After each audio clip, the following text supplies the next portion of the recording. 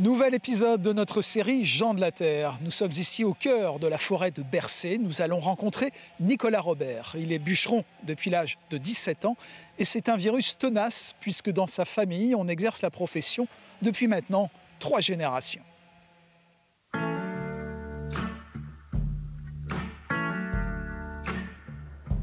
Mon grand-père était bûcheron, il a fait ça une trentaine d'années à peu près, et puis euh, dans ces cinq dernières années, il s'est mis à son compte. Mon père, 36 euh, ans à, son compte. Et puis moi, ça fait euh, du coup 16 bah, ans que je le suis. Et puis bah, depuis l'année dernière, il est en retraite. Dès que je pouvais, les mercredis et les samedis, euh, j'allais travailler avec mon papa en forêt. Et, c'était le travail qui passait avant les leçons. Donc là, on a le marquage de l'ONF qui est en trait rouge. Donc ça c'est le marquage au corps et euh, on a au pied ici on retrouve la même chose avec un coup de marteau et une peinture rouge qui signifie vraiment que cet arbre là du coup on peut vraiment l'abattre.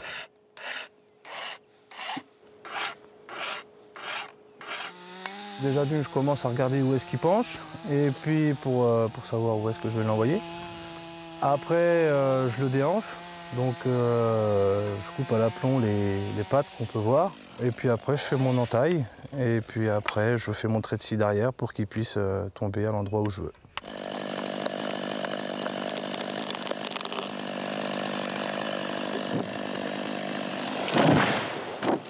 Moi mes clients, donc on va dire l'ONF. Après euh, vraiment les marchands de bois, les tonnelleries. Ça démarre euh, au mois d'octobre à la vente de bois. Il y a tous les marchands de bois avant la vente qui viennent estimer euh, les lots. Et moi, si j'ai mes clients qui achètent des lots, donc bah, par chance, je vais avoir du travail.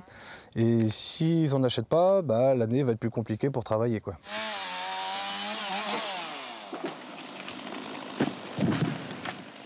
Souvent, la première partie de l'arme, c'est vraiment pour le mérin, pour faire les tonneaux. Et puis bah après, euh, c'est un peu moins bon, donc ça fait dans la charpente quoi.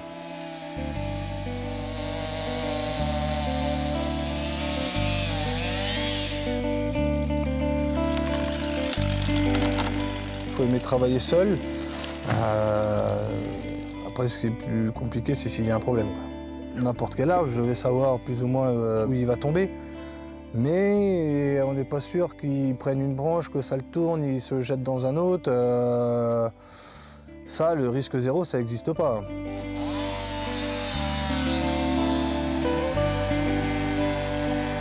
On est pour ça ou pas.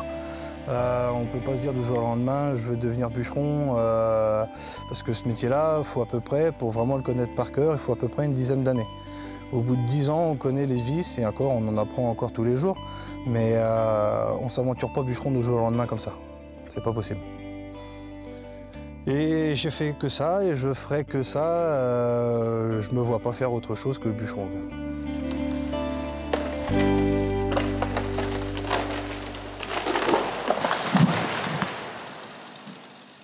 Voilà pour cette belle rencontre avec Nicolas, bûcheron en forêt de Bercé. À bientôt pour un nouvel épisode de notre série Jean de la Terre.